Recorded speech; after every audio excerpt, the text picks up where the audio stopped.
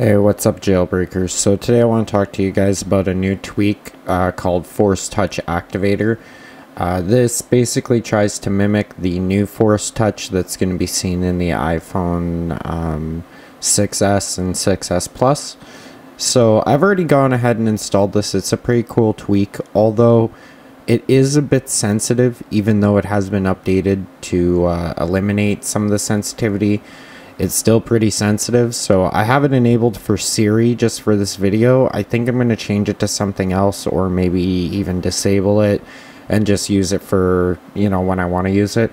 But if you can see here basically how it works is it measures the force of the finger by tracking like the size. So like as you're pushing down obviously more of your fingers are going to cover the screen and that's what it's looking for. Now, I noticed as as I'm scrolling here just like this, I accidentally enabled it. So that's what I mean by it's a little touchy, but basically how it works is anywhere on the screen that's blank or even if you do accidentally tap something, you just press and push and you'll feel the device vibrate and that basically enables the um, force touch. So I'm, you know, just zooming around, blah, blah, blah, or whatever.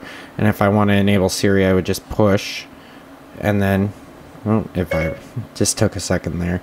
So you enable this in Activator in the settings. It'll install Activator if you don't already have it. Uh, most devices do because it's an awesome jailbreak tweak. To enable it, you would just head into Activator just like you see here and then you would go down to the force touch. Now you can choose to have this just on your home screen in applications. You can choose where you want this to be active. So i might leave it installed and use it on say the uh, lock screen where i could press and hold for my camera uh, for a quick action. So that would be pretty cool.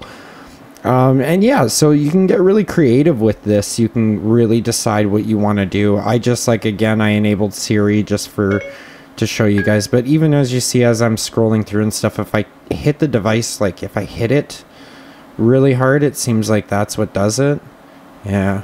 Uh, anyways, I really like it. It's a free tweak. You guys should definitely check it out. And yeah, thanks for watching. Rate, comment, and subscribe to the channel for more videos. And we'll see you guys again next time. Cheers.